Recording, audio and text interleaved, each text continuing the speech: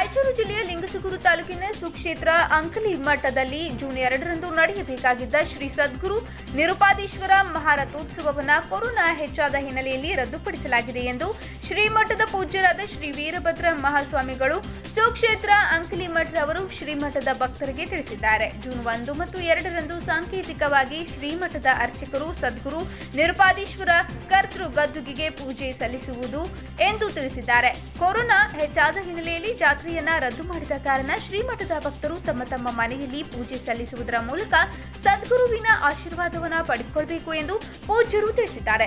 ಎಲ್ಲರೂ ಸಾಮಾಜಿಕ ಅಂತರ ಕಾಯ್ದುಕೊಂಡು ಮಾಸ್ಕ್ ಧರಿಸಿ ಹಾಗೂ ಕಡ್ಡಾಯವಾಗಿ ಲಸಿಕೆಯನ್ನ ಹಾಕಿಸಿಕೊಳ್ಳುವುದರ ಮೂಲಕ ಕೊರೋನಾದಿಂದ ಮುಕ್ತರಾಗಬೇಕು ಎಂದು ಪೂಜ್ಯರು ಸಂದೇಶ ನೀಡಿದ್ದಾರೆ. ಆದ ಕಾರಣ ತಾವೆಲ್ಲರೂ ಕೊರೋನಾ ತಡೆಗಟ್ಟುವ ನಿಟ್ಟಿನಲ್ಲಿ ಸರ್ಕಾರದ ಮಾರ್ಗಸೂಚಿಗಳನ್ನ ನಾವು ನೀವೆಲ್ಲರೂ ಪಾಲಿಸೋಣ ಎಂದು ಹೇಳಿದರು. ಇದೇ ವೇಳೆ ಪಕೀರೇಶ್ವರ ಮಹಾಸ್ವಾಮಿಗಳು ಉಪಸ್ಥಿತರಿದ್ದರು.